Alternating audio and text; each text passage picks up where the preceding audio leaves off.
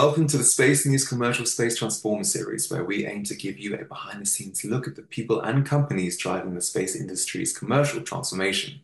I'm Jason Rainbow, Senior Staff Writer at Space News, and today I'll be talking to Chris Moran, Vice President and General Manager for Lockheed Martin Ventures. LMV is Lockheed Martin's venture capital arm, and about a third of its portfolio is invested in space. Some of its most notable space investments include launchers Rocket Lab and ABL Space, LMV also initially invested in satellite maker Terran Orbital, uh, which is now in the process of being sold to Lockheed Martin. So, lots going on for an old school aerospace and defense company now investing and partnering with early stage space businesses. Thank you for joining me today to talk about Lockheed Martin Ventures and the, the space industry's commercial transformation. Great. Uh, Thanks for having me, Jason. So let's let's start with uh, how you balance with uh, the pursuit of commercial space ventures at LMV with Lockheed Martin's traditional focus on defense and government contracts. On the surface, these two look like very different worlds, but I imagine, well, I gather there's a lot of interplay uh, there. Yeah, I don't I don't think they're as different as as you'd imagine, right? A lot of the things that the government's interested in cro- have crossover to uh, the commercial space domain. All the Earth observation things, for instance, obviously the government wants to pay attention to what's going on. So those are easy lifts for us to look at that and find the strategic interest for Lockheed. But I think a lot of the things that are going on in the commercial world are leading to what you might call the commoditization of space, right? For 50, 60 years, space has been this really interesting but government mandated domain run by large uh, government entities like NASA and other other uh, countries as well. I think SpaceX changed a lot of that by creating inexpensive launch, which has enabled a lot of other companies to enter the space. And with those volumes, uh, companies have come out to sell the picks and shovels, if you will, to the space industry, which will speed the commoditization and continue to reduce the costs. And all those things are interesting to us and by virtue uh, to the government as well. So I, I, don't think there's a big divide between what the government looks at and what we look at in terms of commercial space versus uh, uh the defense side. Well, of course, Lockheed Martin also invests in space at the group level without LMV and recently announced plans to buy Terran Orbital, a new space small satellite manufacturer. How does the investment dynamic work between Lockheed Martin and LMV? Is there much back and forth uh, within the company on potential deals? Uh, obviously, a lot of discussion. We we made that investment in uh, you know 20 what is it, 2017. So we, we were, again, uh, the early money into Terran Orbital. Uh, I think we're the only corporate investor in Terran Orbital when, when we made that. And the purpose of that investment was to bring a, uh, a low cost small satellite bus maker uh, to become a, a, teammate partner with Lockheed Martin. And as you've seen, uh, Lockheed's run a couple of self funded missions, which were very successful that we internally call Pony Express which were demonstrators that they that they ran uh, with us on that. And then uh, as a partner with us on some of the government contracts, the SDA layer uh, bids, for instance, that we won with Terran producing the buses for our our sensor suite that that's going up there on it. So it's been a great partnership, and uh, Terran's been able to deliver effectively for us over over the last several years. LMV isn't the only early stage investment arm of a major aerospace and defense giant, of course. Boeing, Airbus, and others have them. What is competition like on that front? And do you sometimes cooperate on an investment, or is it always an exclusive transaction? If you take money, you know, take an investment from LMV, then you can't bring in Boeing or, or another competitor or, or no, we don't we don't do that. I mean, I know I know all the principals there, and they know me obviously, and we we do cooperate a lot. If you look at the cap table, you see us uh, with others on a number of investments. Obviously, there's a little, maybe a little tension in doing it. I think the thing that we want to make sure doesn't happen is that um, people line out exclusivity for each other. These are small, fragile companies. If you say they can only work with you, that cuts off their market marketability and their and their revenue base potentially. Uh, I think everyone has realized that that's the case. So we're really looking at these things as as pre-competitive to from the investment standpoint. Um, I think where the competition may come in is when each of the companies starts to do projects with the small companies, and obviously those are are uh, you know proprietary things that are going on there. Uh, but from the investment standpoint, we're just looking at how do we support these companies and how do we uh, get them to the point where they could be good good partners and enter the defense industrial base in a in a meaningful way. All right, teamwork makes space dreams work. Yeah. Um, yes. What, what, are some of the uh, what are the key factors then that LMV considers when deciding to invest uh, in a commercial space company? Well, I think you know we're a little different than the average uh, you know Sand Hill Road VC in that we do have a strategic overlay to everything that we do. Um, all the tech that we invest in has to fit within. We're actually looking at 14 different tech domains, and these are closely aligned to what Lockheed calls the 21st century uh, security domains. We've, we've, talked about that. Our, our CEO, Jim Taiclet's talked about that a number of times. Uh, but that involves 14 tech domains that, you know, uh, I guess uh, luckily they overlap very clearly with the VC world at the moment. So there's a lot of interest in AI and autonomy and, and uh, swarming and teaming and, you know, a number of technologies like that. We, we also go out to quantum space tech, as we've talked about, but aerospace writ large is in there, uh, industrial 4.0 is in there, uh, a number of tech areas that would both uh, change the face of defense tech, but also make it cheaper, make it more resilient, make it easier to produce. So we're looking across the whole spectrum of things like that. So number one is, does it fit into those domains? Are there areas that line up well with the things that we see as we need now, as well as the things we predict we need in the future? But the other thing we do, obviously, uh, if these companies don't survive, the tech won't be available to use. So the other thing we're going to do, very much like the financial VCs, is look, is this business sustainable? Can it grow? Can it become profitable someday? Does it have a business model that works, or or does it have the ability to find a business model that works? So those things all come into the in the calculus of whether we make an investment or not. And, and, there's so much going on, but with the, the rapid pace of innovation in the industry, how do you go about ensuring that you stay ahead of the curve in identifying and uh, investing in companies that will be long-term winners? Well, one, we're very busy.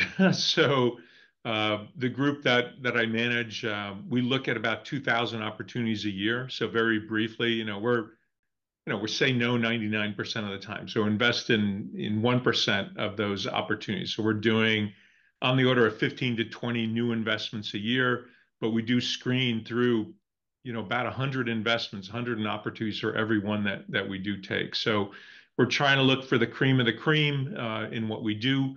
Again, we look first for that strategic alignment, but we also look for that that bluebird, that thing that we never thought of that doesn't show up in a roadmap, something really unique that maybe could fit a future need.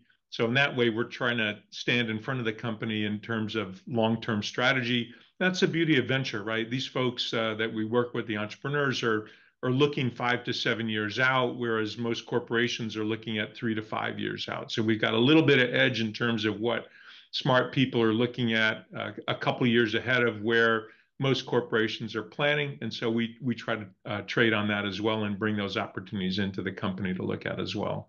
Mm-hmm. What what role do you see for partnerships between traditional aerospace companies and emerging space players in general? And how do you navigate those? Because it can't be easy for a legacy space company to work with a nimble upstart that is perhaps not used to all the or not so used to all the red tape that can bog down space projects. Yeah, I think I think both sides have things to learn, right? The the government is a is a difficult character, right? Lots of rules and regulations. Sometimes a small company doesn't know that. We help them navigate that, and then we obviously can learn on how to be nimble. Um, you know, decades and decades of things have happened in space. Uh, there's a lot of uh, uh, institutional knowledge. You know, we can bring that to the table as well. But we also learned that some of these startups have actually figured out how to do things maybe differently than we know how to do. And in fact, Terran Orbital has has created a lot of automation around certain uh, build cycles that I think we can benefit from, even on satellites that we make one of.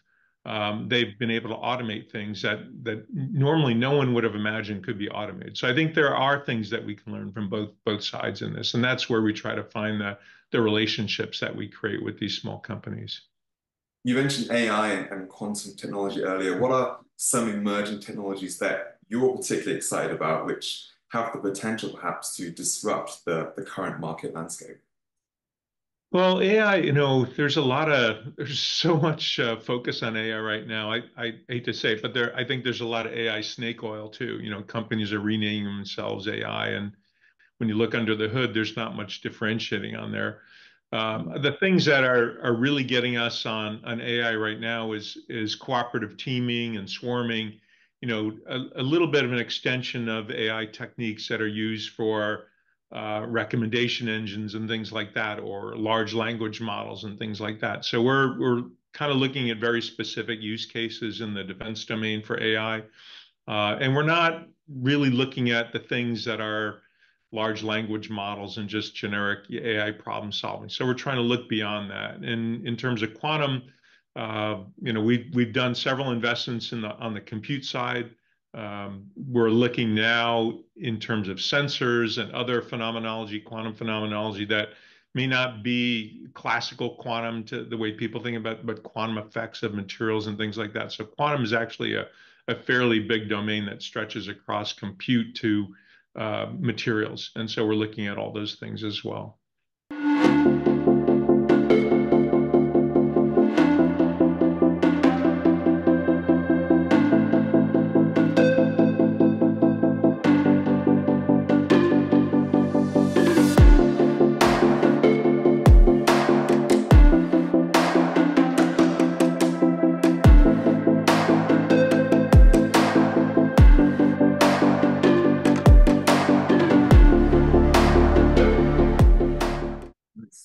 And if nothing else, these are just cool capabilities. He, oh, says, without, he, he, says without skin in the game. Um, but well, things at a distance are always cool. yeah, yeah. Well, actually, um, how do you see the intersection of commercial satellite developments and the growing trend towards space sustainability, particularly in areas like uh, debris mitigation and satellite end of life management, which does affect us all? Yeah, that that's a that's a tough question. I mean, it, people have been asking that for a decade at least right now. I think that the challenge there right now is that there's a lack of monetization of that problem, right? We know it's a problem, we see it's a problem, we see technology that can solve the problem, but nobody's willing to pay for it. So if the governments or or you know some international agency creates a way to monetize it, you're going to get a lot more activity in that space right now. So there are a few demonstrator projects out there. I think some people have used some nets and things to snag some debris and so on and so forth. But if you want wholesale uh, cleanup to go on, then it's going to have to be a, a much more incentivized uh, activity, let's say. I mean, it, it, if you clean up a slot, in an orbital slot, do you get that slot, for instance? Um, and how are you going to police that if somebody does something bad in that slot and so on and so forth? So I think uh, those things haven't happened yet to the degree that they need to to really stimulate venture money investment in the space. Uh, but like I said, the tech uh, capabilities are there. I mean, we've seen some demonstrations already, but to scale that wholesale, there really has to be a, a market created, right? A business created behind that, I think, to to really get more money and more companies to lean in on that. Do you, do you see that happening now? Other, you know, the foundations being laid out. How how far away are we from from this? Do you think? I, you know, I'm not that close to that, but I, I think it's really going to come down to regulations and orbital slot assignments and things like that. If uh, if they're related to your ability to clean it up, I mean, like a, a geo slot with a with a non-functioning satellite in it, if it's over a landmass, could be worth you know a billion dollars of revenue a year. So why why wouldn't you want to replace that satellite with something useful? Why wouldn't you want to retrieve that? Uh, LEO, it's probably a lot less involved with that, but obviously we have to get through LEO to get outside of that. So the value of cleaning up LEO may be more than GEO from from a use case standpoint, but not from a revenue standpoint. So I, I think there are a lot of things that have to be thought through and, and reasoned through before these models can be created. But I think that's an impediment to whole scale cleanup of of the orbital infrastructure. Thank you so much. Very interesting. There's there's clearly a lot of optimism in the industry at the moment. But to wrap this up, let's let's take a step back. And could you maybe outline some of the main challenges and major risk factors space investors should be worried about? What what keeps you up at night? Well, I mean, space is a world of uh, tremendous visionaries, right? Everyone's got a, a big idea that they want to do, and you know, honestly, the the technology seems to play out. We've been impressed more times than not that the big visions from a technical standpoint work. Uh, they're able to do what they say they're they're doing. The problem is the business model doesn't work. So yes, I've done this amazing thing, but nobody's willing to pay for it, or they're not willing to pay enough for it, and the cost of doing it was pretty high. So that that seems to be the challenge: finding uh, the combination of a of a big idea that people want to pay for, and that's not no, that's not unique to space, but I think space has a lot more visionaries than other areas that we look at. So that that is the biggest challenge, and truly investable opportunities in space are hard to come by. These large constellations, for instance, you know, very expensive to build. Uh, you need to acquire lots of customers very quickly. They need to pay a, a good amount of money and then these constellations need maintenance and service and and reconstituting. I mean, it, it's not cheap uh, to run something like that. So your business has to appear pretty rapidly, uh, or you have to rely pretty heavily on your investors for a long period of time, and, and hope that the end game plays out for you. So I think that that's the challenge that I see a lot. Is that great ideas, but the the business foundation not not quite there. Great, Chris. Thank you so much. It's a great place to end it. No problem. Uh, Thank you. Appreciate the yeah. time.